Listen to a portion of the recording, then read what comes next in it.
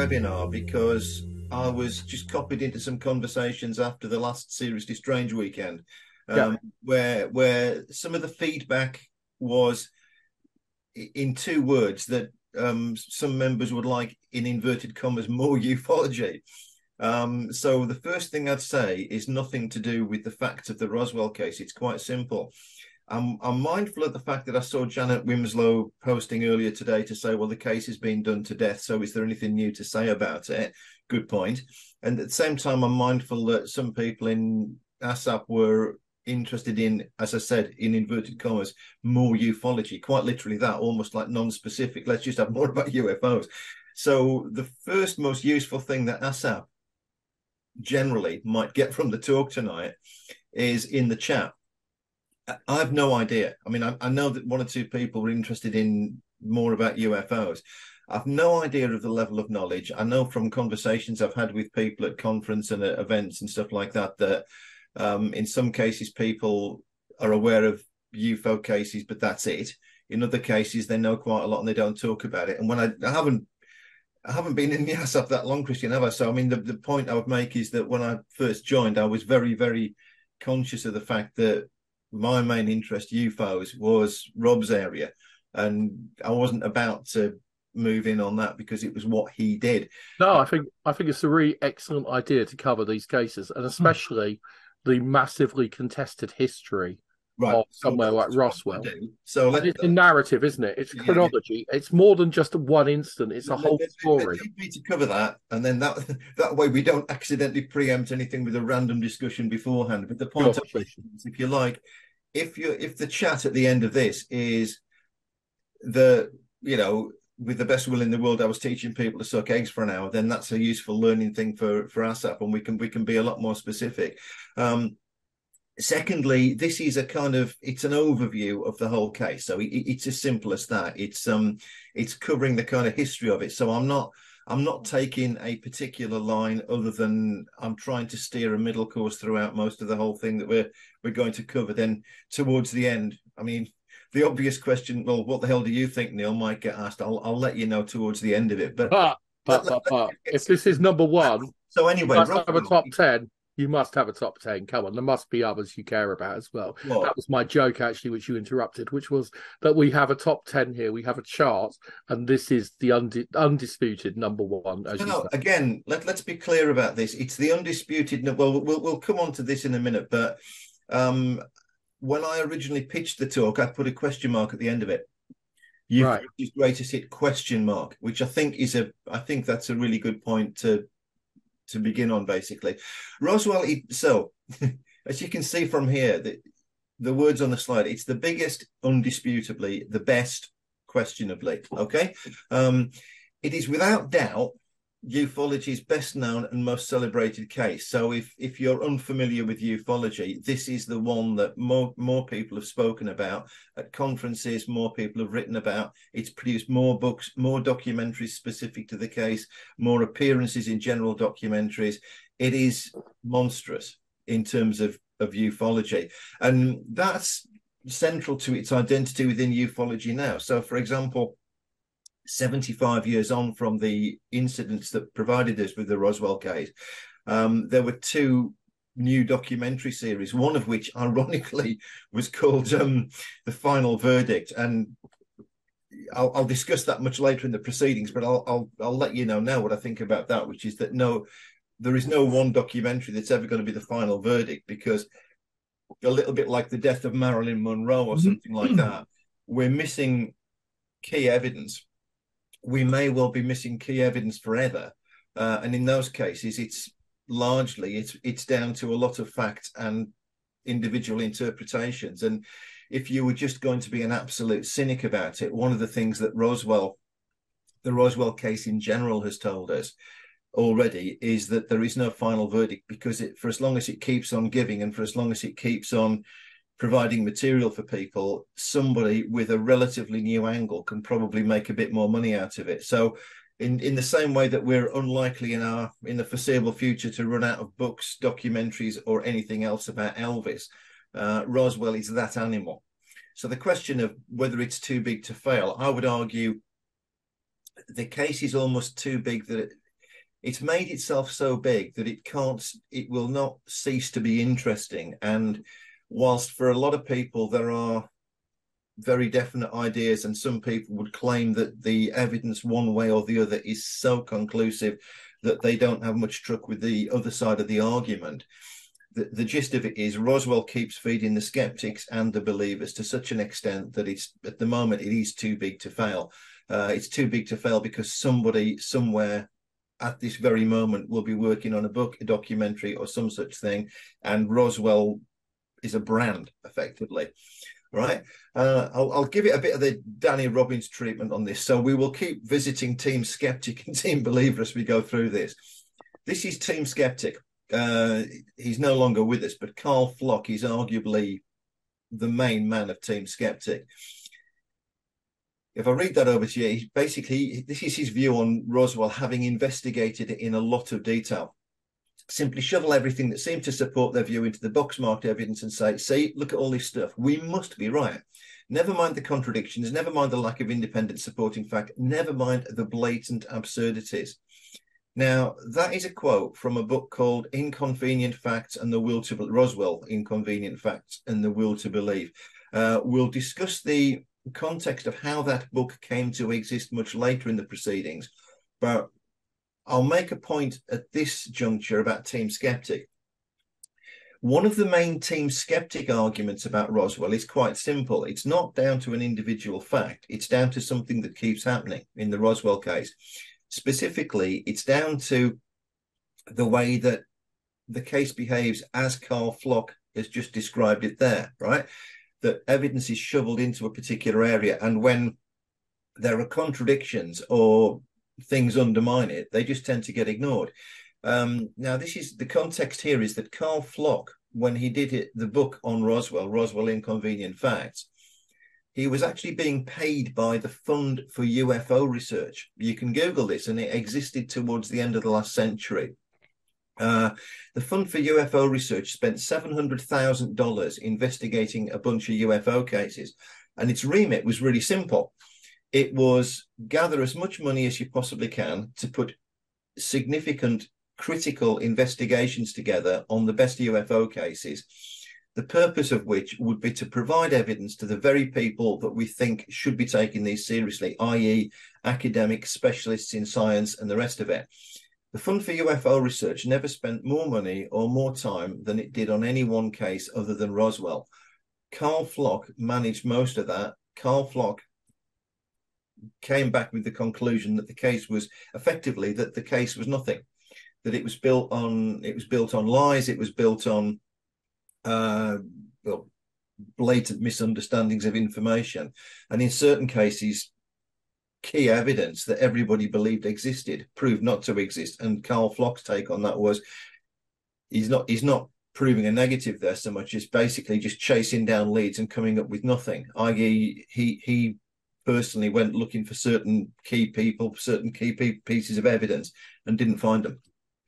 Team believer, it's a complete opposite. The team believer response to that is quite simply that the stuff that would prove it has been covered up for years. And arguably, again, um, you could you could take issue with this, but arguably the A player in the team believer operation over the years died in 2019, uh, Stanton Friedman and this is Stan Friedman talking about, well, Roswell, but but the whole cover-up thing. You know, frankly, I'm sick and tired of the US Air Force lying to the public, the press, and members of Congress about UFOs. Now, Stan Friedman was a massive figure in ufology. So my apologies to anybody who knows the ufology backwards, because I'm not telling them anything new. But um, just not long before the lockdown, I was at a UFO conference in Pontefract run by uh, Outer Limits magazine, Phil Mantle, who has Flying Disc Press, which, if you're unfamiliar with Flying Disc Press, Google it afterwards. Um, it's a, I mean, whatever you think of their works, you'd probably want to support it. It's a, it's a British operation um, run by a guy called Philip Mantle, who's been a lifelong ufologist, um, and it's devoted entirely to publishing books on UFOs. Simple as. Uh, they've recently done a book called Europe's Roswell, which is about an, a case, a 40 year old case, a Welsh case, basically, which is largely unknown, uh, done, uh, written by a guy called Mark Holley, which I read. I don't know what to make of it, but it's one of the more interesting UFO books I've read in, re- in the recent past. Uh, and at the the Pontefract UFO conference, even she's like Yorkshire in, you know, a long, long way from the United States, they had a moment of silence and a reverent interlude in memory of Stan Friedman. God bless Stan, Stanton Friedman. He died of a heart attack in an airport uh, on his way home from a speaking gig. He was speaking and doing perform presentations, doing TV presentations on UFOs to the end of his life, and just do the maths on his age. So he was 85, uh, still out there doing it. So he not only did he believe, he he he he quite literally walked the walk, and um, like I say, he died in transit basically on his way home from a um, speaking in Toronto. But he epitomizes the team believer take on Roswell, which is quite simple.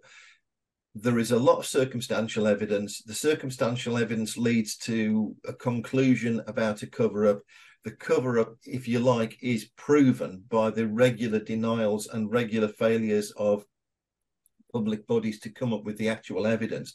Therefore, this is a this is an item of faith as well. The truth, it isn't there. Therefore, they ain't got it. Hmm? I'm, I'm assuming that was a real person and not a, like a not a spirit. Is anybody there? I'm, going to go on. I, I, assume I assume that some random was just just muted. I'll I'll be taking questions at the end. Don't worry. And I, I, if I I only caught the end of that, if the gist of that was they can't produce the evidence if it doesn't exist in the first place, I think that point will be addressed as we go through the case. Okay. So this is where we are basically. Just just a, a brief overview. What do we know? Well, the big organizations on Earth, MUFON, are the most powerful in terms of membership and probably media presence UFO organization on Earth at the moment. Um, they they and one or two organizations like them believe very much in the ETH, the extraterrestrial hypothesis, hypothesis, i.e., it is an item of faith amongst organizations like that that um, what's behind the bulk of UFO sightings and the consistencies in them is an alien presence on the earth, which is also known to governments and covered up, right? Interesting thing. So Roswell is literally the Sergeant Pepper or the Citizen Kane of ufology. That's what I'm saying. So when you know when I'm saying to Christian, chill out, I'll cover that. Yeah, absolutely. It, it, it, if you're thinking about a top 10, it's up there, i.e., it's so big it's almost its presence alone is enough to define it these days. You i once saw sergeant pepper I, I got a book on like you know the most cult out the most underrated albums the most cultish albums you can ever discover. And along with bim sherman's reggae album with no drum kit on it and stuff like that the author th- thought to put sergeant pepper in there as in, as in arguing it's misunderstood. Um, you know, it's almost like Roswell has got that. It's got it's got every dimension up to and including the argument that it's it, that it's despite being in plain sight, it's widely misunderstood. It is all things to all people.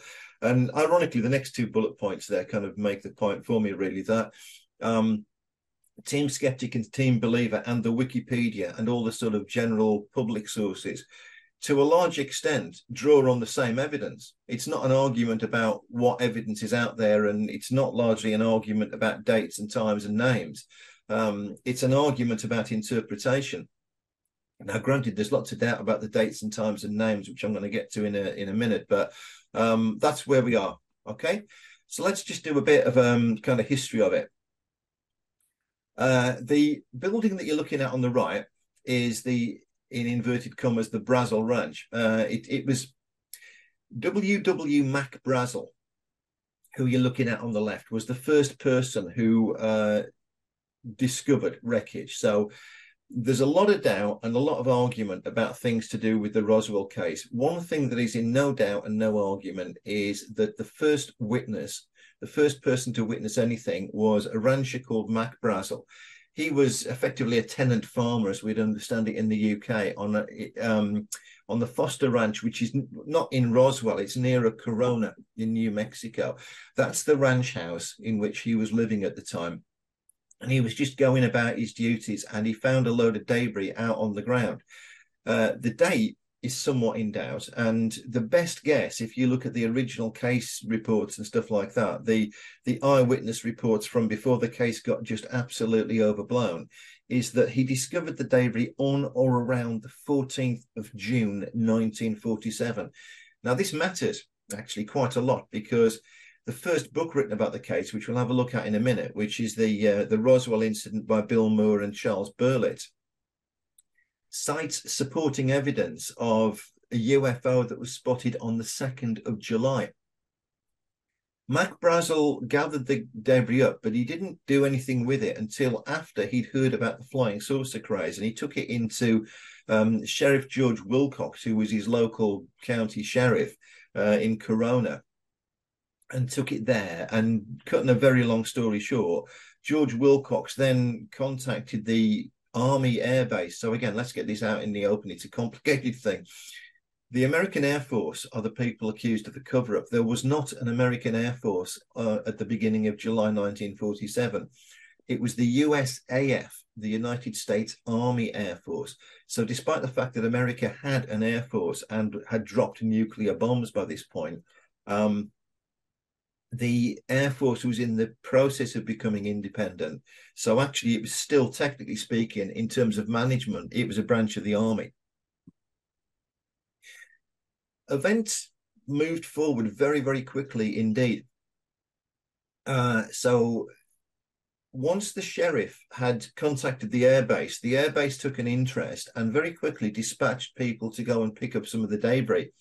Um, so Mac Brazel, who knew where the site of the wreckage was, had only gathered about a cigar box full, basically, not a huge amount of debris.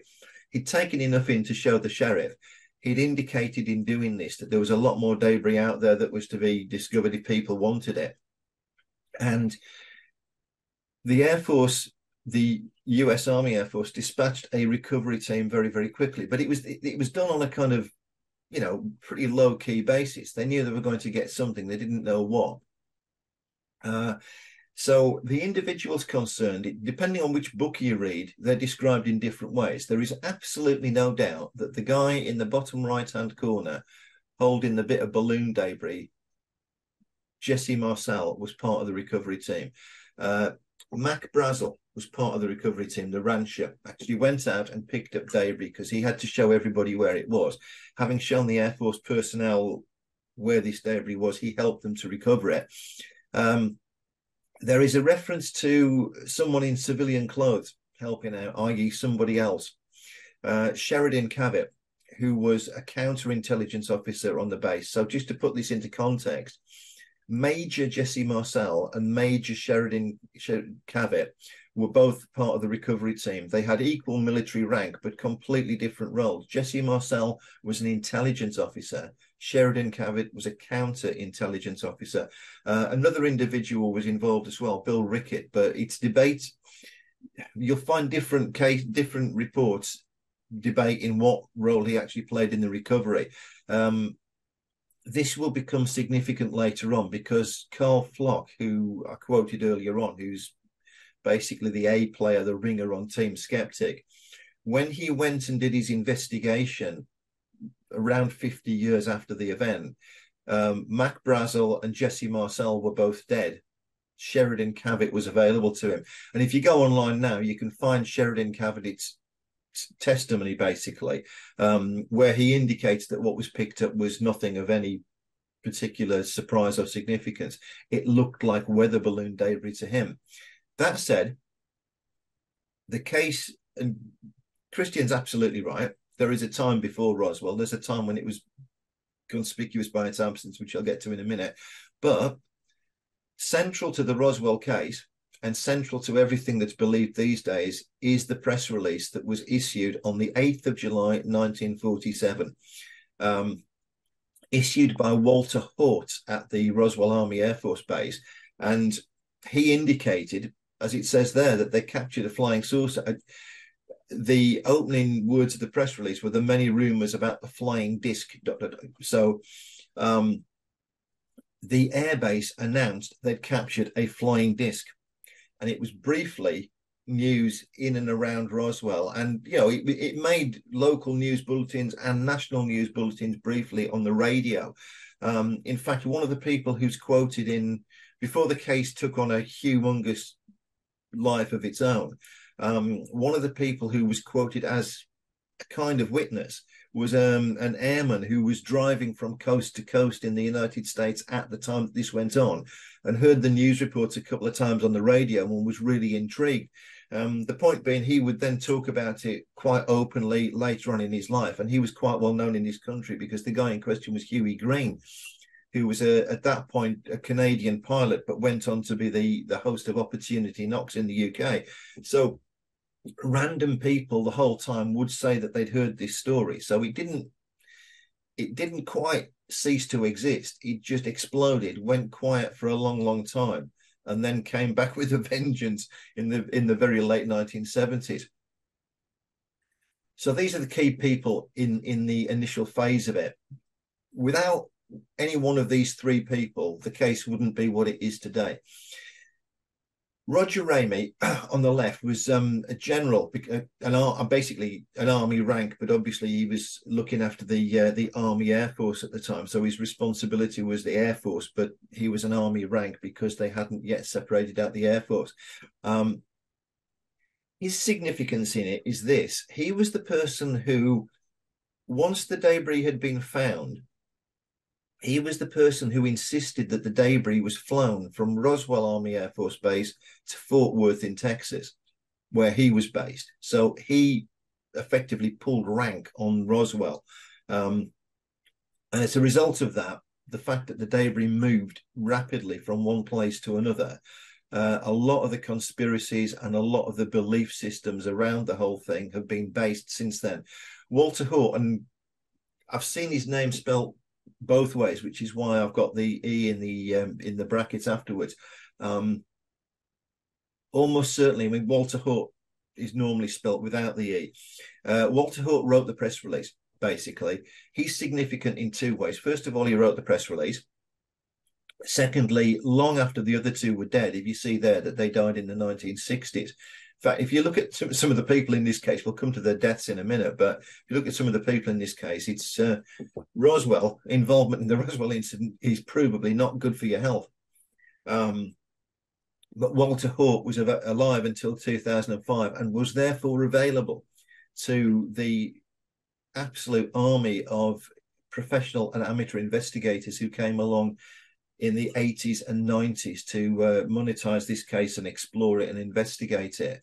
Um, towards the end of it, it's a bit sad because what towards the end of it, when some of Walter Haut's testimony was uh, being questioned, he was he obviously had lost a lot of his uh, his awareness, so he's he, he's an um, ambivalent figure in the case. And then William Blanchard on the right is the colonel.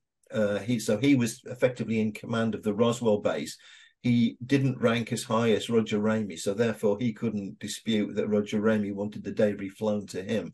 Um, but Walter, uh, William Blanchard rather authorized the release of the um, the press release and managed the first response to the recovery of the debris. So consequently, his actions uh, are central to a lot of the arguments about what was going on. So the team believer argument would crudely be that these people realised very, very quickly they'd got hold of something. Um, and therefore, the involvement of two high-ranking officers and the rapid removal of the debris from one place to another, yeah. the fact that they've got like a UFO. Um, Team Skeptic would say, well, we're reading more into this than we want to. And uh, they pick on people when they're young and they're small and everything else. You weren't very big, was you, really, when you was 11? I'll wait till that's muted. Yeah, you were a very big person, was you? There's some nasty fucking bastards about that, Mark. There's some nasty fucking. It's like level Clark with you, isn't it? Take us up. Is it clear? Yeah. There's one whole minute. You two disappears. Okay, right. So um the the, the team skeptics take on this is just that they, they just responded appropriately to something that they didn't quite understand, and we'll come on to why that might have been in a minute. Um, One moment, Neil. Let me just try and find out where where this is happening. Can nobody else actually stop it? Hang on. They're the ones stranded kittens. It's coming from Mark Wallace. I can't mute it?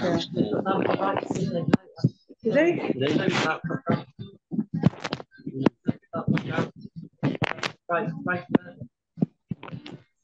well, oh. Christmas tends ready in the. This is going to look great on the recording, isn't it?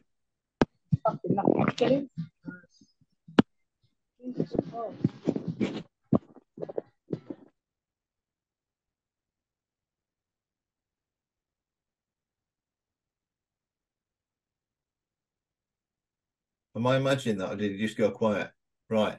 So, um, for the third time of asking on this one, then, um, I've seen all sorts of discussions about things that are apparently sinister and significant, up to and including the rapid death of these people. Um, I'm going to make a very cynical and simple point about this so we don't go down that blind alley. Um, there were a lot of heavy smokers in the United States Air Force around this period, and Ramey and Blanchard both died of heart problems. Uh, Blanchard actually quite almost literally dropped dead inside the Pentagon at the age of 50.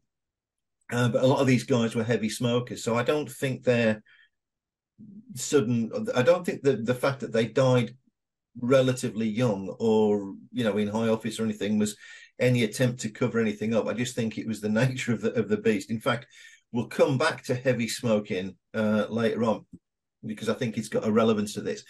Um, so yeah, Christian's right. There was a long silence, and uh, funnily enough, I just checked this out myself last year because I'd always believed this and I'd always talked about it. But um, in an article for Skeptic magazine, uh, Duke Gildenberg basically a Roswell requiem, which was a bit premature 20 years ago because there will never be a requiem for Roswell. It'll die a slow death if it dies a death at all. But uh, he said there for more than 30 years, no one anywhere cared about the incident at Roswell. No one.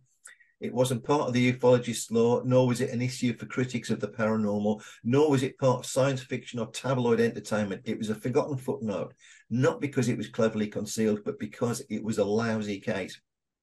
Yeah, well, um, it clearly isn't a lousy case if you go and ring up somebody like MUFON these days. But uh, I gave a talk to uh, the Ghost Club in October 2022, and it was a thing about just a lifetime of paranormal obsession and stuff like that. But um, I'd always believed, and one thing I talked about that that time. So apologies if you're in the audience. I don't want to repeat too much of this, but I pointed out that if you're of a certain age, i.e., basically my age, then a lot of what was available to you as literature in the days before the internet and before there was mass press coverage and stuff like that was um, very luridly written, not very well referenced, effectively tabloid style books. Things like the work of Brad Steiger, and I'm not knocking these because they're number one without books like this, most of the ufologists of you know who are anywhere between 50 and 70 in the UK probably wouldn't be involved so much. Um, but secondly, when you know th- th- these were quite exciting, inspiring books, if only because they made you believe that it was you know it was like an episode of Star Trek. Some of the things that were going on with UFOs, effectively. Um, you didn't need science fiction if you were reading this stuff, and I double checked this before I went and spoke to the Ghost Club. I read three of these books, which I've still got, and it's true. Roswell is nowhere. I mean, it, it's not. Brad Steiger doesn't cover it. Um, and interestingly, there are UFO crash retrieval stories in this period. Uh, some crackers if you want to go and Google this, but this is a timeline that you'll find on the Wikipedia page of Roswell, actually. Um, so Roswell is blue. Um, on on the pink side, you've got some other cases mentioned, some famous ones. Uh, so the Twin Falls recovery, for example, which I'm alluding to there, um, a cracking case, and very very quickly after the coming of the flying saucers. If you're totally unfamiliar with ufology, the modern era of ufology, i.e., basically what we now celebrate as the you know the sort of the, the ETH side of it, the aliens visiting the Earth, pretty much kick-started itself on the 24th of June 1947 when a pilot called Kenneth Arnold had a sighting of airborne objects. This is the period in which we get the term flying saucer. So it's it's literally, it you know, it's about a week away from um, the Twin Falls, Idaho sightings there was an explosion on the back of the Kenneth Arnold case very, very quickly. Now, it's an interesting thing. The the, the term flying saucer, what are, when I wrote my the, the last book on, on UFOs, on the the um the one that was on the first slide, one of the few facts you can't get your hands on definitely is the name of the person, the exact name of the person who coined the term flying saucer. It was not Kenneth Arnold. Kenneth Arnold described the airborne objects he saw as moving like a saucer would if you skipped it across water, skimmed it across water. So in other words, he thought he was looking at objects flying a bit like like you skim a stone or something like that. The person who actually coined the term flying saucer was a man called Bill Bequette, who was a stringer, i.e., basically a, a correspondent for a, a newspaper called the East Oregonian um, and all the online sources disagree about the spelling of his name and whether there's a Q in it or not, basically, whether it's, but um, the point I'm making is that very quickly after that story became a lurid tabloid story in the United States, crash retrievals almost immediately started, right?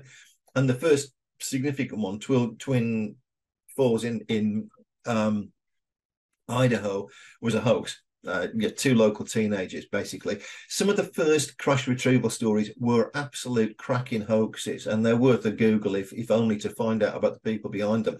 Probably the first one that got real traction was the Aztec case,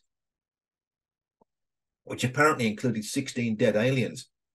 Um, but the, the two the two guys behind this were to all intents and purposes snake oil salesmen basically um, i mean glorious conman. There's, uh, you know, there's sorry, but there's a. If they make the movie, Johnny Knoxville should play one of them. I mean, that's that's the that's the the area we're in here. So the little graphic on the right, effectively, um, there were crash retrieval stories before the Roswell case became big international news. Okay, um, the archetype of the story was established, and I, I, I was trying. I didn't get time today to dig out the article that um, I read years ago, which I, I meant I've, I've, spoken about briefly at one of the ASSAP conferences.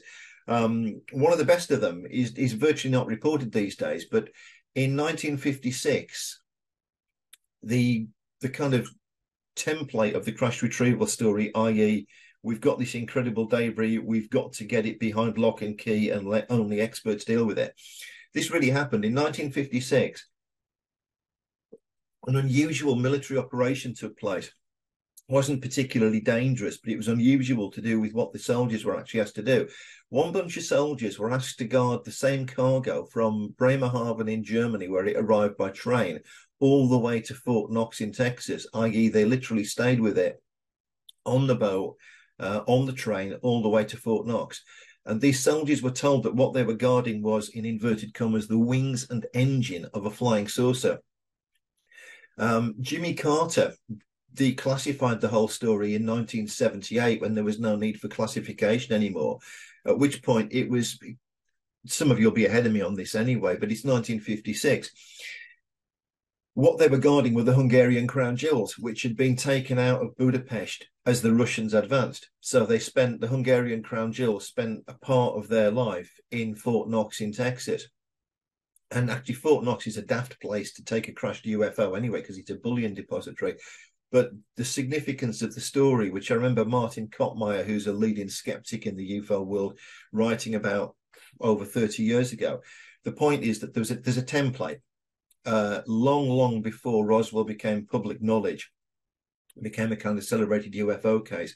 There is a template of a crash, a retrieval, a crack military team doing exceptional things, i.e., behaving in a way with orders that are atypical of the way that you'd normally arrange a military team, uh, and then the results of the whole thing being kept in maximum security conditions. That template predates Roswell by a long, long time. So these are the main bits. This, these are the kind of greatest hits of the history that bring it to public, high public awareness. in 1978, the National Enquirer uh, was the National Enquirer was well underway in the 1970s on a on a project that involved making UFOs and aliens a big part of its news feed. And so just trawling the existing archive in the United States, they came upon the Roswell case and they wrote about it. Right. The original Walter Haut press release, the, the Roswell Daily News story that I showed you on the slide earlier on, was central to the way that the National Enquirer first reported this. Almost immediately, Jesse Marcel, who was the individual, the intelligence officer that you saw with the debris, came forward and said that actually that they'd got it right. The thing had gone quiet, but he, as an eyewitness, was there to tell them that he had retrieved debris from a, a flying saucer, and that the evidence for this, evidence again in inverted commas, because um, it's not evidence that was made public at the time, but he was prepared to talk about it in the 1970s amongst other things, the evidence was the exceptional properties of the material recovered. Now, I'm not going to go back to the slide, but I think there is virtually no disagreement about something I'm going to tell you here.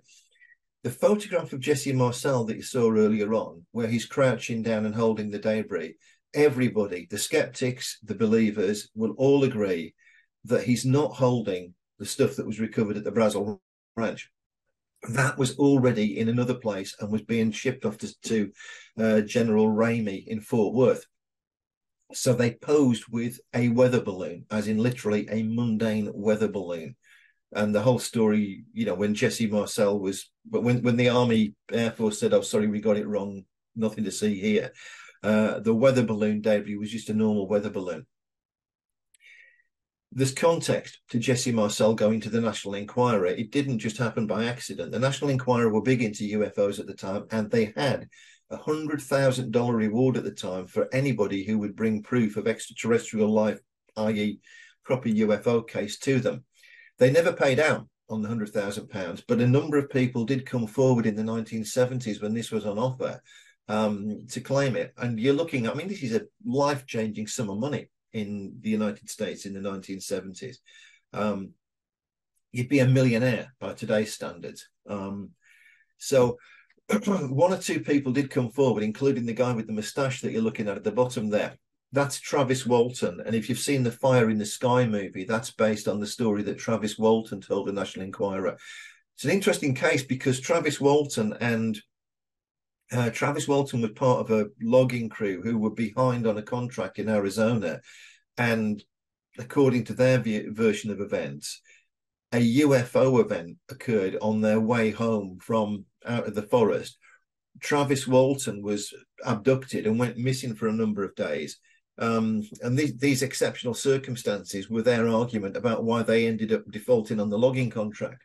But they didn't, they weren't penalized for this. There was a financial penalty. Um, and I mean, you know what I'm going to say next. So one school of thought is he was genuinely abducted, and to this day, Travis Walton does UFO conferences and stuff. He went to the National Enquirer to claim the hundred thousand pounds. He got five thousand, hundred thousand dollars rather. He got five thousand dollars for the best story of the year. If you read this, the skeptical accounts, including that by Philip Klass, K L A S S, if you're interested, who was a, a, an aviation journalist, an arch UFO skeptic for many years.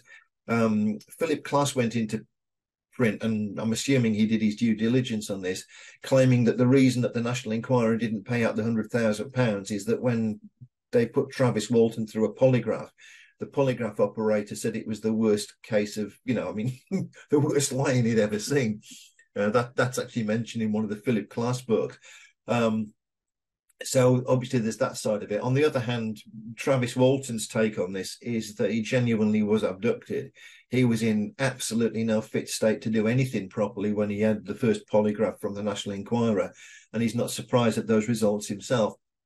Um, either way, there was money in the right story, and if you think about this from the National Enquirer's point of view, whether they ever expected that somebody would come forward with conclusive proof or not, they were getting good stories at a knockdown price effectively because these stories have gone on to be the bedrock of particularly the extraterrestrial hypothesis version of um, ufology. So some of the ones that Christian was coming up with earlier on, um, Pascagoula incident and stuff like that, the National Enquirer was central to breaking in the United States as major stories.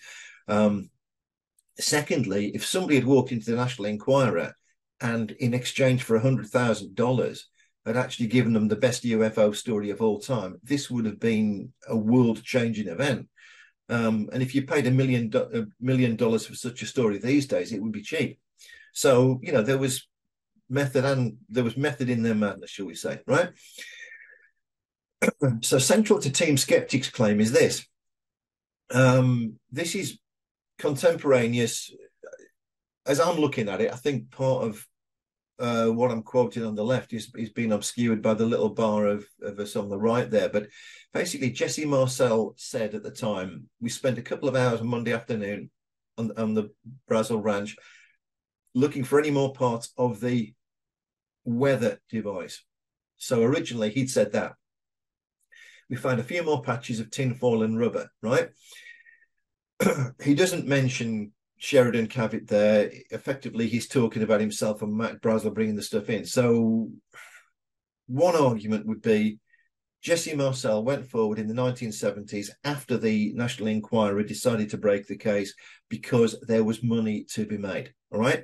And the evidence for that is that Jesse Marcel's accounts from the time don't say anything exotic and they're very specific about the materials, tinfoil and rubber. All right.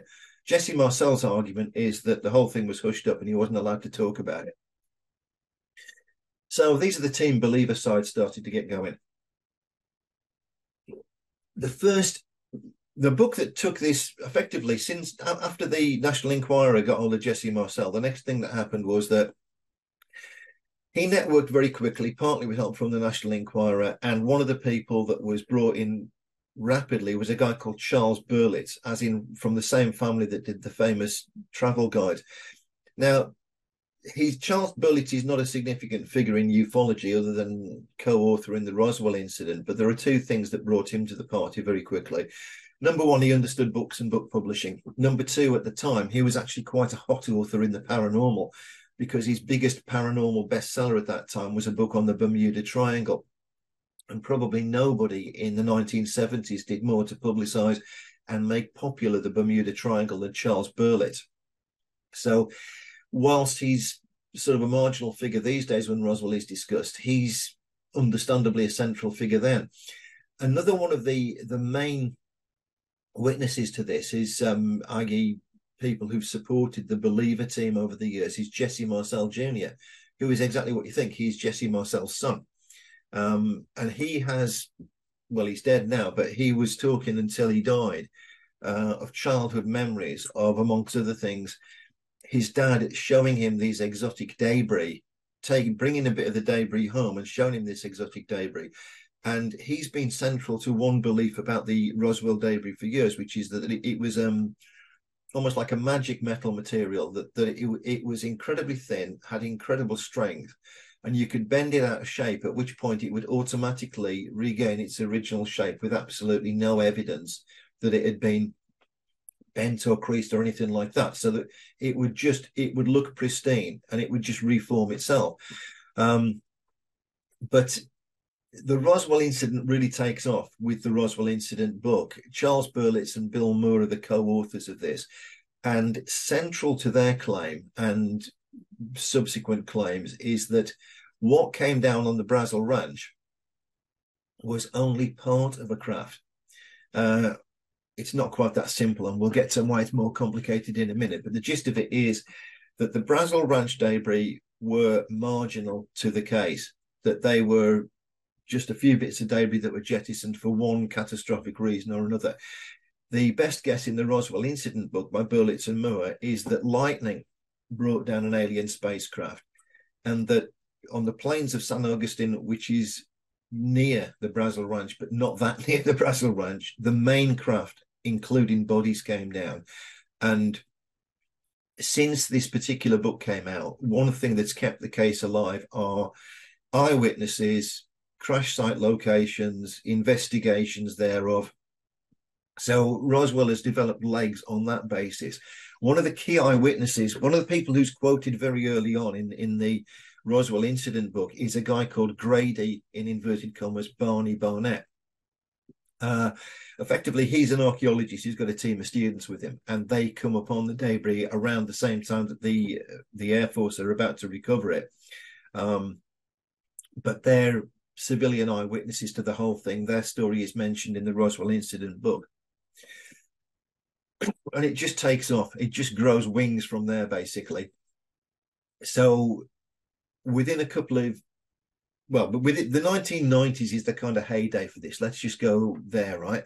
Um, so Stanton Friedman, who you saw earlier on, co-authored a book called Crash at Corona, and central to his claim uh, is a, an eyewitness called Glenn Dennis. Now we'll come on to Glenn Dennis again later on when we think about what Karl Pflock was investigating, but Glenn Dennis is the guy on the right, and Glenn Dennis in this particular period when the case was becoming massively well known and was becoming the some. This coincides with an expansion in television channels. VHS tape is at its height. Lots of private documentaries are being made. These things are getting shown at UFO conferences. There are more UFO conferences. It's pre-internet, so if people want to find out about this stuff, they literally have to go to Blockbuster, they have to buy the videos, or they have to turn up at the UFO conferences. So that's how the case is is growing and expanding at this point. And people like Glenn Dennis are central to it.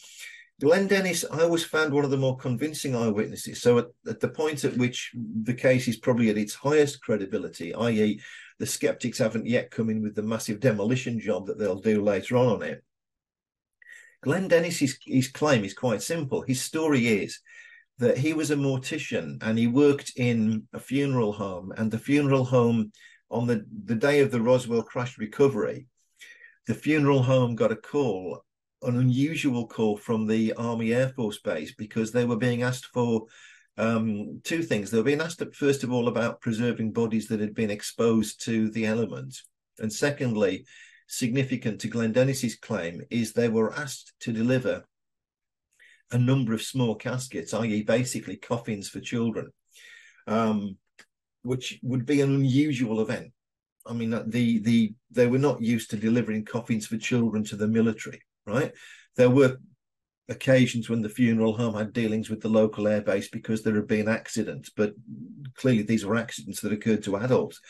So Glenn Dennis personally, in his testimony, volunteered to deliver the caskets, and he had a particular reason for doing this, a particular personal interest because he was romantically involved with a nurse at the base called Naomi Self. So his plan was to deliver the caskets uh, and then go and see his girlfriend, who was because she was a nurse, she was in the medical wing. So he did that, and he went. The story he told is that he went to the medical wing, and as was his wont at the time, because it was all pretty, you know, they knew him on the base, so people didn't tend to apprehend him. He just wandered in to, to find it at, at which point he was rapidly uh, shepherded off the premises. She saw him. She was horrified. She told him to get out of there right away. Um, and the story he told was that subsequent to that, he and she had a drink in town, and she told him what had really been going on. That he'd, in wandering in there, he'd gone within feet of um, an autopsy being carried out on a dead alien, basically, and that the caskets were for the unfortunate crew of the crashed UFO. All of this is told in the Crash at Corona book by uh, Stan Friedman and Don, Don Berliner. And from the point at which Stan Friedman got involved in the case, Stan Friedman remained an absolute believer in the truth of these stories to the end of his life. Um, but in the 1990s, excuse me while I just have another drink. If you like, the best and the worst news about Roswell was both to do with its its, its high profile and the publicity it was getting at the time.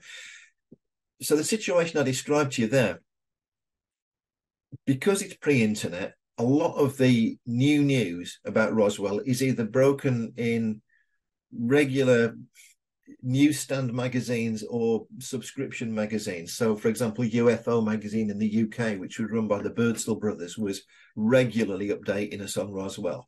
Um, and if it's not that, it's broken at conferences by researchers, and these people are making money out of researching the case.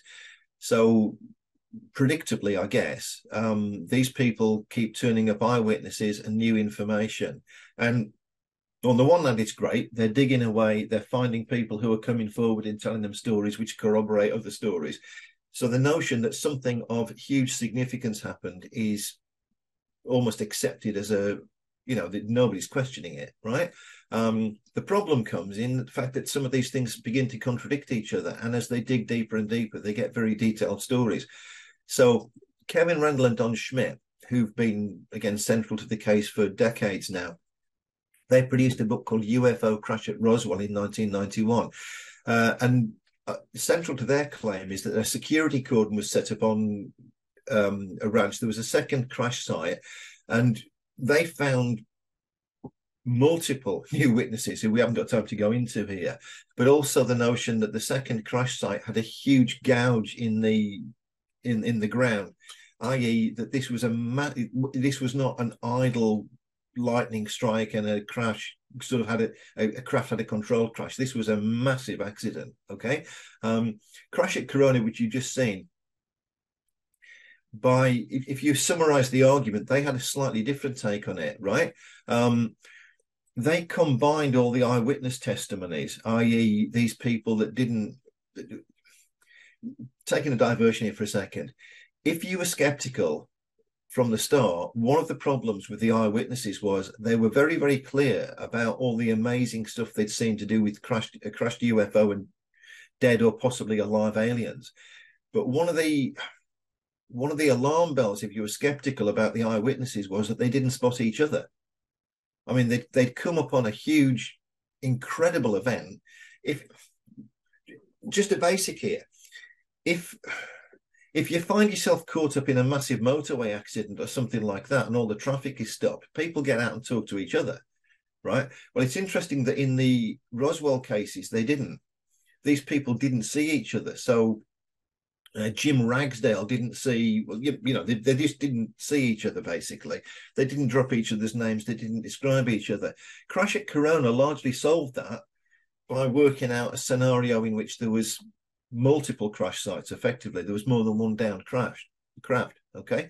Um, which also dealt with the problem that some of the eyewitnesses saw live aliens. Some of them were absolutely certain that all the aliens they saw were dead. So that that's that's where it was. And by 1994, there was a kind of universal theory. Uh, Kevin Randle and Don Schmidt did a second book very quickly after the first one. Um, as I've put on the third bullet point there, we're actually on version five of the story by now. So either you can look at it two ways. Four versions have led to version five because all the, the first four versions have brought the eyewitnesses out, and therefore Consequently, there's more detail. Alternatively, some of these are revisions. Um, there are things that have escalated in this tale by this point. Dwight Eisenhower has now witnessed the alien bodies, according to some of the witnesses, right? This book is a watershed for a number of reasons. First of all, because some of the U- the main UFO organizations in the country in the United States are now in disagreement about it. So the Center for UFO Studies, which is largely an academic institution in the in tribute to J. Allen Hynek, who was one of the greatest ufologists of all. it's always been much more bothered about peer review or something similar to that if you can get it. Um, they are completely at odds with MUFON, which is the Mutual UFO Network, which is a the biggest civilian organization in the United States, about what they find credible and what they don't. And another reason that this book is a watershed is that in uniting all the stories uh, in the truth about Roswell, notably Grady Barnett, i.e., the archaeologist with his students who came upon the crashed craft, they deal with the fact that Grady Barnett and the claims about him don't fit in with all the others. The, this book deals with it by just ignoring him. They don't explain why he's not there. He just isn't there. Simple as. Um, and one of the key witnesses here is a guy called Frank Kaufman. So Randle and Schmidt talk a lot to a guy called Frank Kaufman. Frank Kaufman, Frank Kaufman's story is that he was effectively in the front line of the American military and as a result of what happened and where it happened, he was in the front line of the crash retrieval and cover up, basically. Um, and he's like Jesse Marcel, then his story is I was sworn to secrecy, but I'm getting older and now I'm going to tell the truth. All right. but it did get a bit surreal. So here's a few here's a few things too. I'm assuming you can all see the slide, by the way. I've got a bar across the bottom where so that some of the, the words are disappearing and off to the right here, but don't worry, I, I know this stuff well enough. The gentleman on the top left here is Philip J. Corso. Philip J. Corso's book, The Day After Roswell, details a completely different story because he was a high ranking military officer. The gist of his story is quite simple. In the aftermath of the Roswell case, there was reverse engineering of craft. There was all sorts of amazing top secret stuff that went on, which reads absolutely brilliantly. The book has sold something in the re- region of a million and a half copies. Um, and central to, I mean, you, I'm sure I'm not surprised anybody here if you've not heard this story. Central to all of this, of course, is Philip J. Corso himself. So effectively, the day after Roswell purports to be an eyewitness account of what went on after the cover up, who was involved, how the reverse engineering worked, what they discovered, what they couldn't discover. Fantastic story. But uh, a word of caution. In 2001, when The Guardian presumed to come up with a list of the top 10 literary hoaxes of all time, um, they put the day after Roswell higher in the ranking than Howard Hughes' non-existent autobiography written by Clifford Irving, which is basically a, an act of fraud from beginning to end, as is the Hitler Diaries. In other words, they thought the day after Roswell was a better literary hoax than those two. They don't believe a word of it, and it's not something that's widely discussed these days. And certainly the Alien Autopsy movie, the infamous Alien Autopsy movie that premiered in the UK in 1995, is another bit of this it's getting silly. At, at, the the conference I mentioned earlier on, the uh, the UFO conference in Pontefract, one of the speakers there was uh, Spiros and he, he Spiros Spiros um, again, cutting a long story short about Spiros, Spiros is one of the two special effects geniuses who faked the alien autopsy hoax. That's what he was talking about at that conference, right? Um, but in 1995, Phil Mantle, for whom I've got a lot of time, so I'm not having to go at all. Phil Mantle, who's the guy behind Flying Disc Press, Phil Mantle was one of the first people to take the alien autopsy hoax seriously and actually um, had a piece published on the front of the independent newspaper, which started with the words Dear UFO Disbeliever.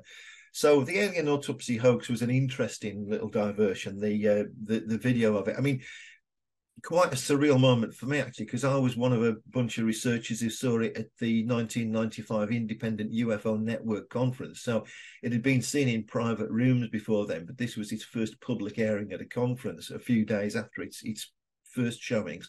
And just as you do, you know, I took my seat in the conference with everybody else. Um, I found myself sitting just like about as far away from the screen as I am now with Roy Hattersley. And I'm like, well, what the hell's he doing here? This is the deputy leader of the Labour Party. And he was quite happily talking to people and saying, well, I'm a journalist. This is the best story in town at the moment. This was all taking place in Sheffield, where he had a constituency. So, um, and there was even um, Mike Farrell of um, the who played um, uh, BJ in MASH. He was the one who replaced Trapper John. Um, he presented. He, he was the host of a UFO documentary, live documentary in the mid 1990s in the United States, where, amongst other things, people came forward with stories about what happened after Roswell and the alien that they'd kept alive in top secret and in the United, uh, you know, under cover of the United States government and how this alien liked strawberry ice cream. So some of this stuff just got quite surreal. But this is all spinning off Roswell. I mention that because that the fact that some of the stories that spun off the original Roswell case became quite bizarre really opened the door, created a hunger for a level of skepticism that is covered in these four books. Let me take them left to right. Kal Korff's book, The Roswell UFO Crash What They Don't Want You to Know, is written in the same accessible, easy to follow tabloid style of things like Crash at Corona, but it's a skeptical book. Effectively, it writes in the same style as the books about the crash that claim it's for real, and it, it sets out to demolish them. And it, it does the obvious thing. It says, well, um, this story doesn't tally with that story. If you look at the timeline, this doesn't work out. If you think about the crash sites. It just it, it in a very accessible way applies skepticism. Let's go to the extreme right here. UFO Crash at Roswell, the genesis of a modern myth. The book has three authors. I'll presume to talk about one of them.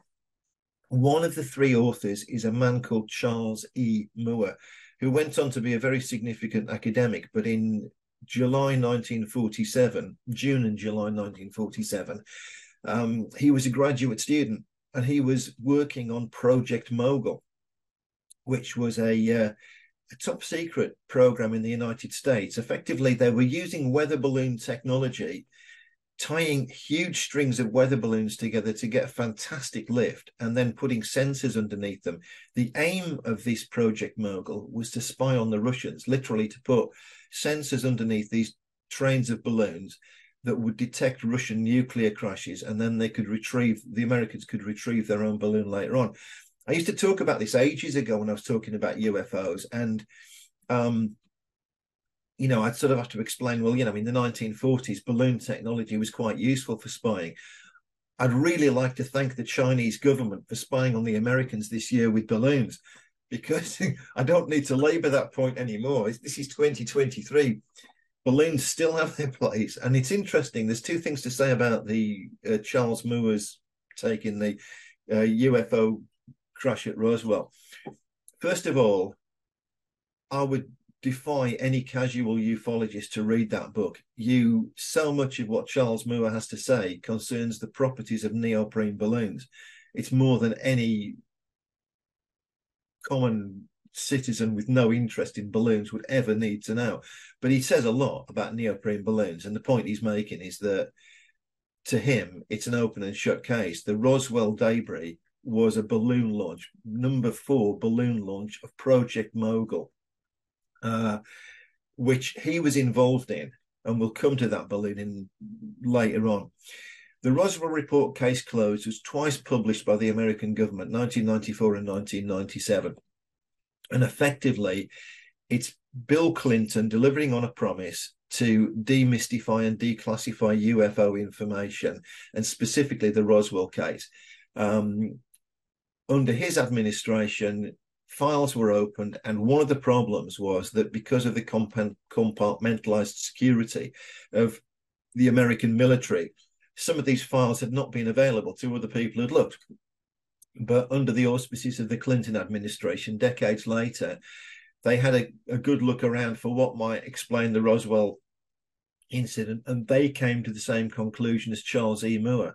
It was a Project Mogul failure, i.e., it was a very complicated set of balloons, but it was it, effectively it was weather balloon technology, albeit attached to a top secret experiment to spy on the Russians, and specifically number four the fourth launch of of the Project Mogul experiment was the cause of the Roswell debris. The book I'm leaving to last is this one, uh, the second on the left here, uh, Roswell: Inconvenient Facts and the Will to Believe. So I've quoted to you from that book earlier on, i.e., the team skeptic thing. Karl Pflock's argument, basically, that when you summarize all of this, um, you're looking at a case that is supported by people just shoving whatever random facts they can get to support their own argument. And crucially, and this is crucial to everything that Karl Pflock has to say, there is so much evidence to the contrary that the people who want to keep this case alive just willfully ignore. And to give you some examples, let, us just re- briefly recap on this. The Fund for UFO Research never devoted more time or more money to any investigation than Roswell. And if you think about why they would do this, it's obvious. The purpose of the Fund for UFO Research was to gather as much money as possible, do the best critical investigations of the best UFO cases, and then throw them to the leading skeptics and say, We told you. So it was always likely that they would go to Roswell. It was always likely that when they went to Roswell, they would make a colossal effort to stand this thing up. And Karl Pflock was their chosen person.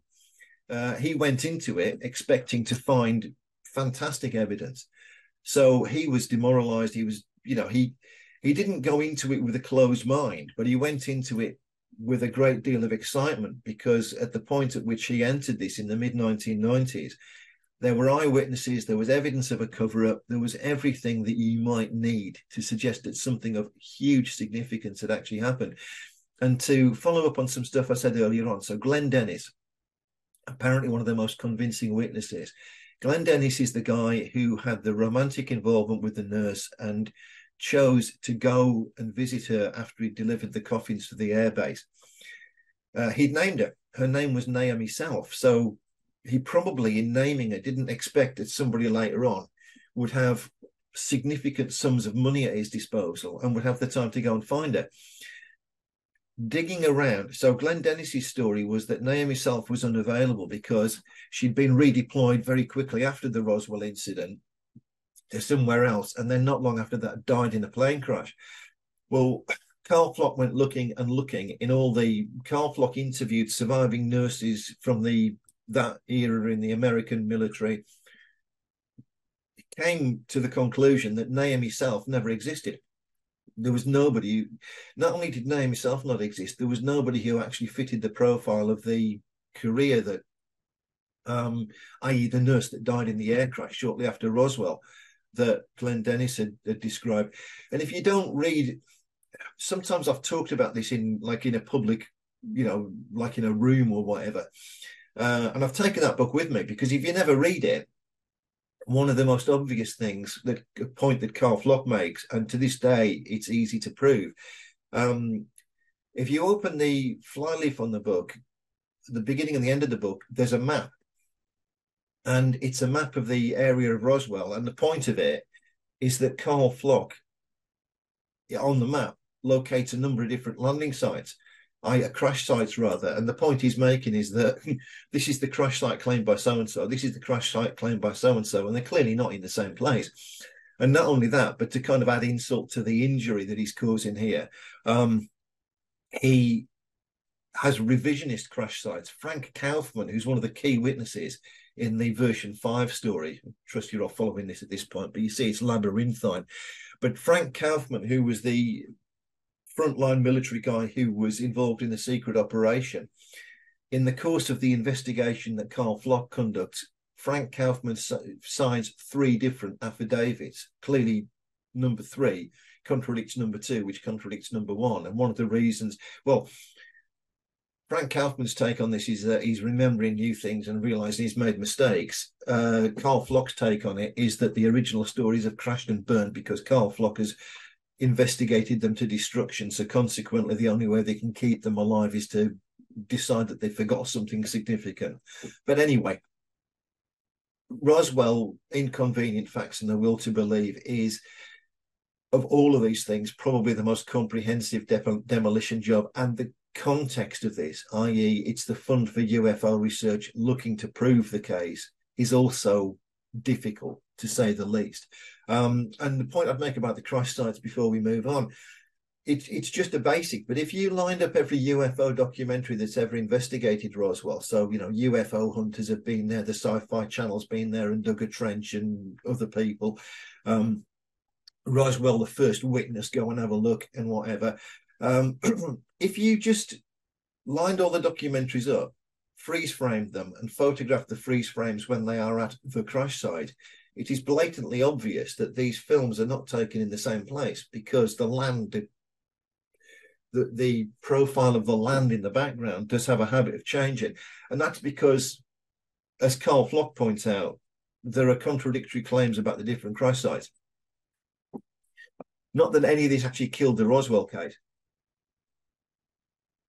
So, moving swiftly along to 75 years after the event, 2022,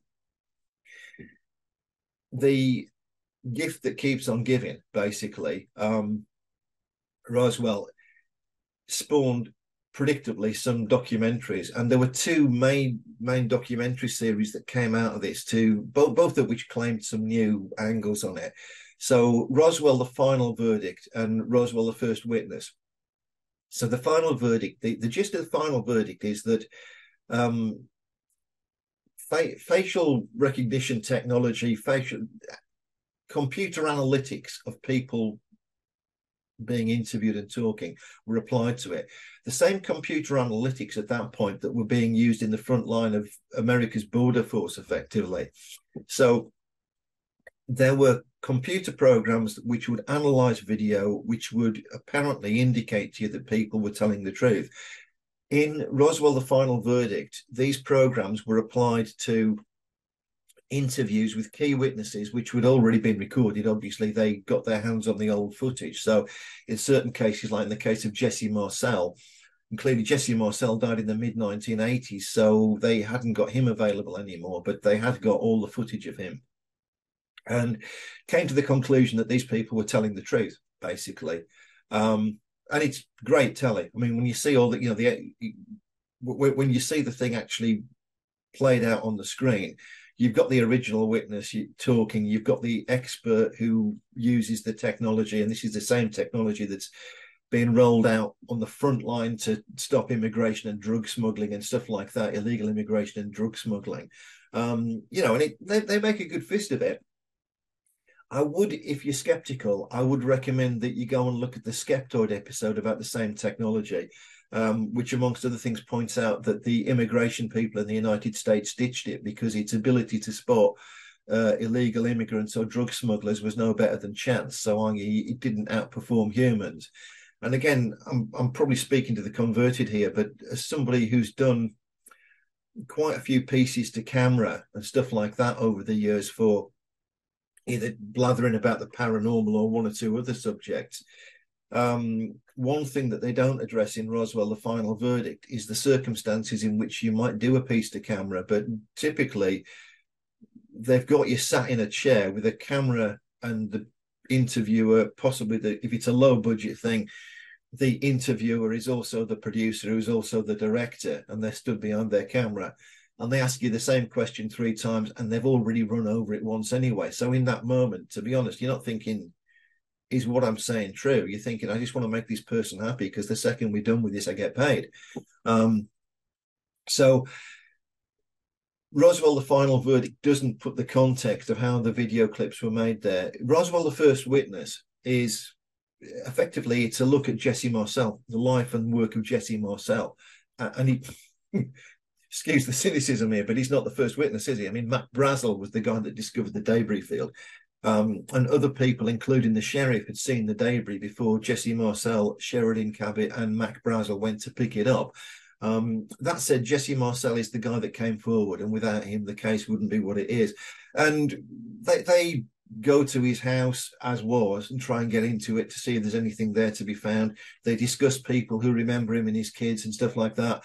Um, so the one rock solid prediction, as I'm saying at the end there, this is the gift that keeps on giving. A bit like Marilyn Monroe. Once all the key witnesses are dead, they'll still find some way of finding a new angle on it.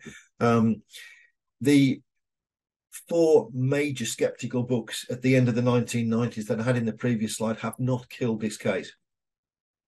And to give you some idea, look, these are both Rotten Tomatoes reviews of the same, literally the same video. There's a five star and a one star. Okay. So that probably tells you all you need to know. This is on the uh, the final verdict one. Yeah. But it's an innovative six part docu series if you like it. On the other hand, it's just rubbish if you don't like it. Right. Um, these did not come from Team Skeptic or Team Believer. These just came from the general public responding to seeing this and choosing to post a review on Rotten Tomatoes.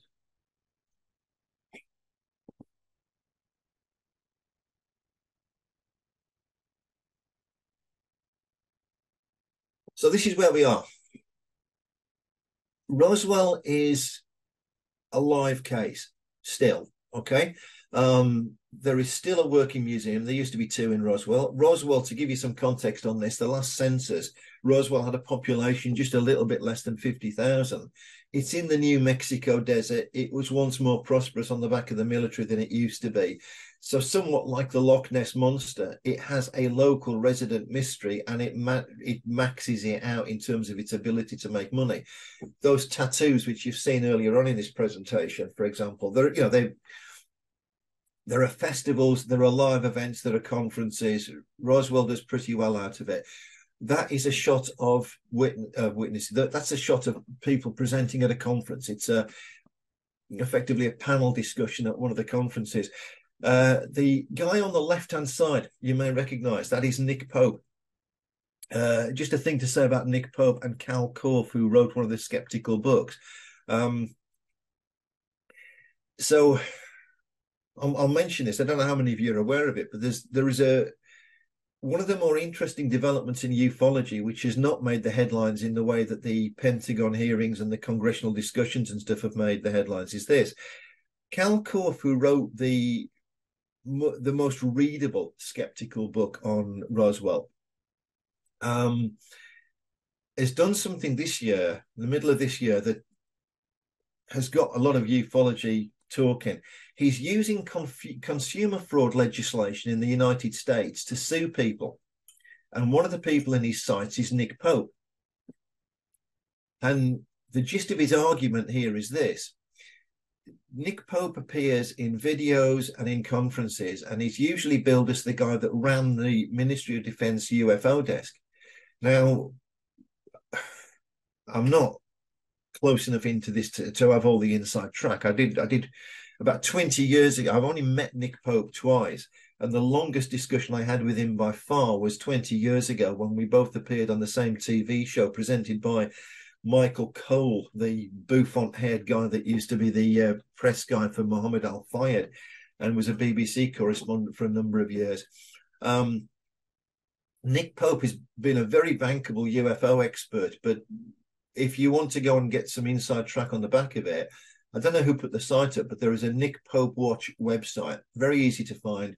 What you'll find on Nick Pope Watch website or Nick Pope MOD the Facts Facebook page is a combination of claims made on behalf of Nick Pope or claims he's made on his own behalf with what appear to be the facts from the MOD. The point being, there's a gap between the two of them. Um, the indication of the documents is that Nick Pope and, and, some of the people who know, I mean, I've seen Phil Mantle, who I mentioned earlier on, has po- posted on the MOD, um, Nick Pope MOD, the Facts Facebook page, for example. Phil Mantle was involved in UFO research for so long that he was swapping correspondence with the UFO desk at the Ministry of Defence. Therefore, he would purport to know number one, that the Ministry of Defence never had a UFO desk, that DSA, the Defence Secretariat 2A branch, basically, uh, dealt with low flying complaints and therefore by default dealt with some unexplained objects. And that was where you sent your inquiries. And he corresponded with Nick Pope, and therefore some of the documents on there have Nick Pope's signature next to a grade that indicates that he wasn't running anything.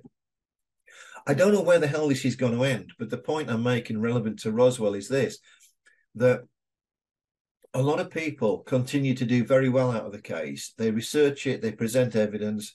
Um, some of these people probably are doing well, but if you like, Korff and one or two other people have thought the only way to get any serious, credible, critical investigation into this is occasionally to call some of these people into account.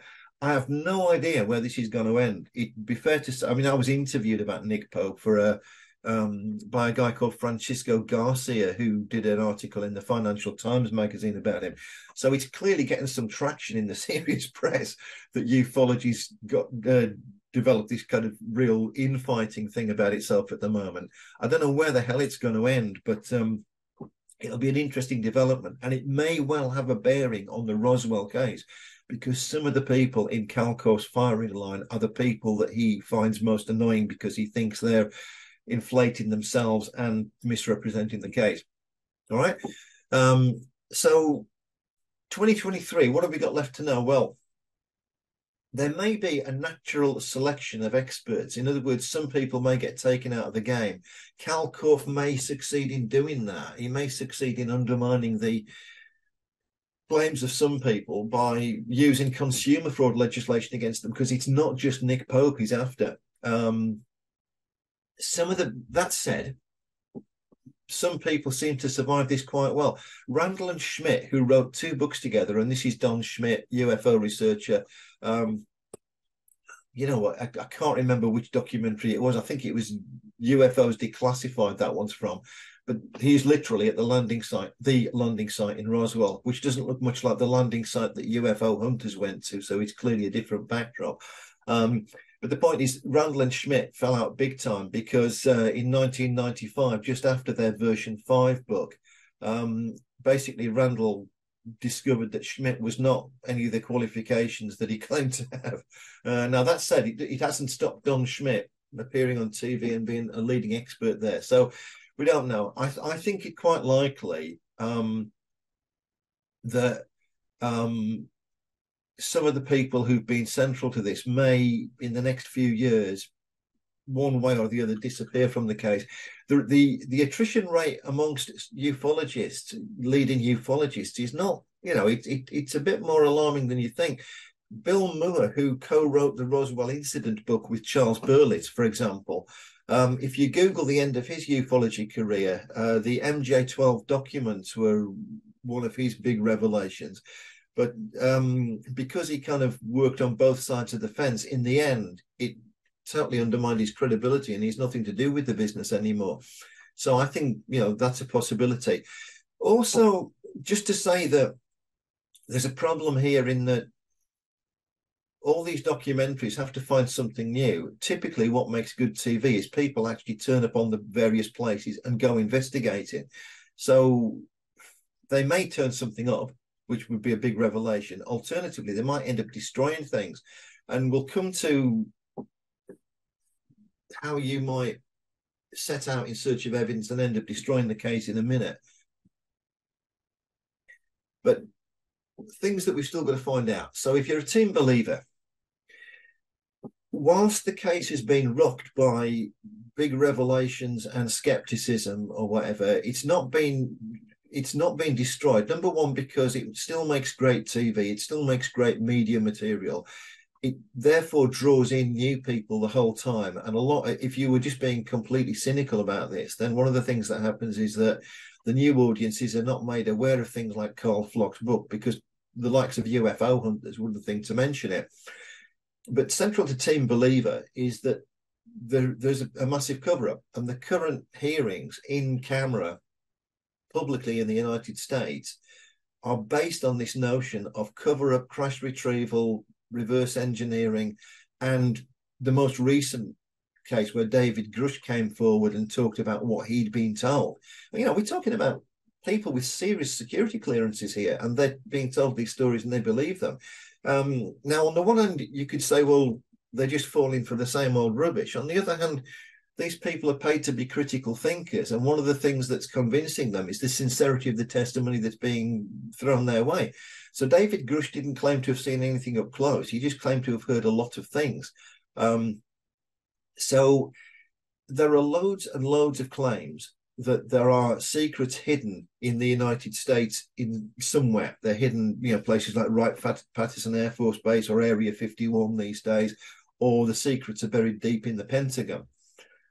It is possible that something will come forward because it's not like we're, you know, we're not sure the claims in this area. And there is certainly a change in the political climate at the moment. So these, for better or worse, these public hearings are gathering worldwide news attention. Um, and the kind of people testifying and the kind of people coming forward to make claims are of a, a, a level of credibility and security clearance that we haven't seen previously. It may be that some secrets about the Roswell case are buried in there, and um, Team Believer are hanging on to that. Their take on it is that despite all the skeptical claims, the fundamental momentum of this is that there have been so many eyewitnesses, there's so much evidence, it can't all be accidental. Okay. From Team Skeptic. so, number one, apology for the mild swearing, but has anybody actually seen that in balloon there? Right. Let's go back to central to the skeptical claim. Charles E. Moore, who's the expert on neoprene balloons and was working on Project Mogul, and Karl Pflock. both of their books basically say the same thing, albeit with a lot of other things thrown in. But the gist of it is Project Mogul was a secret. You're looking at a picture of Project Mogul there. It was not normal weather balloon activity, right? Um, the Project Mogul balloon was about 657 feet high. So that is some serious balloon technology. And the gist of it was get a load of weather balloons, link them together with very strong links. Collectively, their lift will be such that they can get up to the jet stream, at which point they can access it. And it's not, that's not so ridiculous. The Chinese are spying on the Americans by balloon these days, right? If you read the the book co-authored by Charles E. Moore,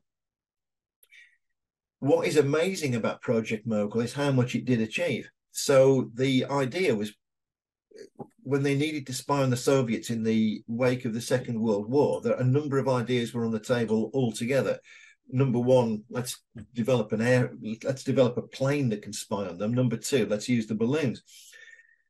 Project Mogul started very unpromisingly. The first two launches on the eastern seaboard were not quite catastrophic, but not exactly impressive they chose to go and experiment in the conditions they would find in the New Mexico desert. Launches three and four and beyond that took them a lot further. But the gist of it is launch four, which went up on the 4th of June 1947. The skeptical case of it is uh, that that was actually what's now understood as the Roswell debris. But where Project Mogul ended was that by the end of it, they'd managed to launch balloons in the United States. And among the final launches in the experimental series, one balloon got as far as Tunisia, another one came down in Scandinavia. So they'd mastered a lot of it. And the only reason that Project Mogul was discontinued was that the U 2 spy plane technology got there first. It was more reliable. You could put a pilot in that and it could overfly Russia so they didn't need Project Mogul, but the uh, the progress they made was incredible. And the anyone seeing that green balloon line here, let's just go for this for a second. There is a lot of doubt about where the actual landing site with the recovered bodies was. The one location that to within a few yards is widely understood Roswell is the debris field the location on the Brazel Ranch of the debris field is most people, when they take a TV camera there, are in the same place and everybody knows where it is, more or less. I mean, it was never marked out, but within reason, they're all where Mac Brazel found the original debris. So the team skeptic side of it would raise two questions. Number one, if the recovery by Mac Brazel, Sheridan Cavitt, and Jesse Marcel was not the debris of Project Mogul's number four launch. Where the hell is that balloon? Because there's been so much overflying, TV filming, and whatever in the area. If it wasn't recovered, you'd think they'd have spotted something. And not only that, but one of the um, one of the more telling moments in the uh, Roswell, the First Witness series involves an excavation and it involves a metal detection and then ground penetrating radar applied to the site of the debris field and the Brazel Ranch. And the interesting thing is that they're obviously looking for any remote, any debris that might be left from a crashed UFO. The metal detector turns up nothing.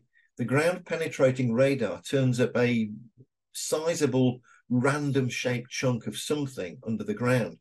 Uh, and in an interview, like a Zoom interview with an expert, at that point, um, the point that the point is made it, that um, if they dig it up, the expert believes they're going to find a chunk of neoprene balloon, i.e., it's clearly not metal, but it's not. It, it's of a size and shape that it doesn't appear to be any natural object. Um, now that hasn't been dug up as far as I'm aware, but that might be a chunk of the original balloon. Other things that might happen, well, um, the winning the war of attrition by default comment there. Both sides believe this. The skeptical side and the pro ET side pretty much believe that if they just keep on going, the other side will eventually just fall apart. That may happen. Uh, the other thing that may happen, uh, this case may go the way, like the Loch Ness monster or whatever, where it will just fail to come up with the telling piece of evidence. And the truth is that it'll not disappear, but the world may move on somewhere else. And it's interesting here that um, at the moment, one of the more exciting developments in the search for extraterrestrial life, again, if you want to Google this, K2-18b, the James Webb Space Telescope has found an exoplanet that is about three times the size of Earth and apparently covered in water, and it appears to have a biosignature, i.e., there is some circumstantial evidence that we're looking at a planet that is giving off gases in its atmosphere that indicate there's life there. Um, now, if that happens, it may well be that a lot of people are interested in extraterrestrial life and evidence thereof, who don't have that many spare hours in the week, will graduate to the James Webb Space Telescope and revelations there and get progressively less interested in Roswell. It might die a quiet death. Okay run almost over on that then. Okay. Thank you very much for listening. I'm conscious that there are there's European football on. It's not been a bad day for celebrity deaths. Um, so yeah, the news is quite interesting. And on top of that, there's every other distraction. So the fact that there are 55 of you online, I think, you know, I'm pleased to know that there are some intellectuals left on earth that are interested in the paranormal, right? If you're still there, which I think takes us to this bit. Okay. I've ranted enough about that. I'll be interested in any question, and I'll be interested in how many people didn't know some of what I said because the original point still stands. Really, that um, I was conscious that that ASSAP seemed to be interested in more ufology. I thought if I went route one to the biggest case on earth, uh, if 20 of you say, well, thank you very much, but I knew all of that, then we maybe need more eclectic ufology in ASSAP. If I told you things you don't know, that might be useful to know as well. Okay? I am going to shut up and take some questions.